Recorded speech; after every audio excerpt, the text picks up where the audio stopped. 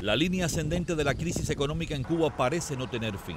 La tormenta tropical Laura llegó cuando el país estaba en momentos estresantes y el gobierno maniobrando para paliar la crisis. Lo que peor eh, nos deja es la incertidumbre y las dudas. Dijo desde La Habana a través de su podcast Ventana 14 la periodista Joanny Sánchez. Agrava además la situación del acceso a los alimentos, del acceso a los productos básicos y nos deja con muchas interrogantes. Y es que según opina también desde La Habana el emprendedor Ángel Rodríguez Pita, la crisis en la alimentación se afectará más aún de lo que estaba. Recordar que estaba prácticamente prohibido la entrada de mercancía a La Habana antes de, este, de esta tormenta tropical.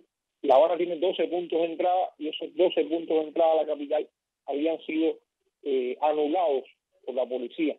Realmente todos los sectores del trabajador por cuenta propia están, están prácticamente paralizados, pero al mismo tiempo se acentúa la, la crisis que tiene el sector. La periodista Miriam Leiva, por su parte, coincide en que la mayor incertidumbre de los habaneros está en la alimentación. Y estamos en medio de una gran deficiencia de abastecimiento, las colas de la gente teniendo que, buscar alimentos y casi no estaba llegando productos agrícolas aquí a La Habana, lo cual es muy preocupante ahora porque si Mayabeque y Artemisa se vean perjudicadas en su agricultura, pues eso hace que prácticamente no llegue alimentos, o sea, de, de lo que es las viandas, los vegetales aquí a, a La Habana. Crisis sobre crisis sobre crisis es lo que apuntan todos.